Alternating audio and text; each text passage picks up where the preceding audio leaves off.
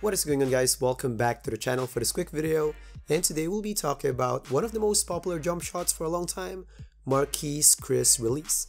This one came from lots of comment requests, so just let me know in the comment section any base or release recommendation. So now for the shot speed to give you a visual perspective, here you go. Just a bit slower than Kobe and just about the same speed as Bird and Gay.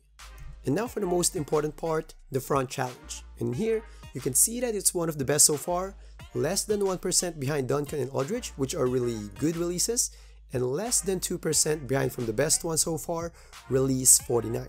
So in terms of numbers, it's really looking good so far. It's really in a good company up there. But of course, these are just numbers. This will just give you options.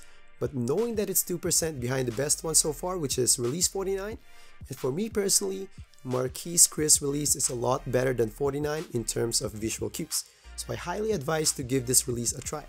And again, please let me know in the comment section any base release recommendation, I'll see what I can do. And don't forget to drop by my new gaming channel, link will be down below or you can just click those two videos. So that's all for the video. If you guys like it, please smash that like button and please consider subscribing for more videos. And don't forget to drop by the channel for lots of other contents. And as always, stay safe and happy gaming guys. Peace.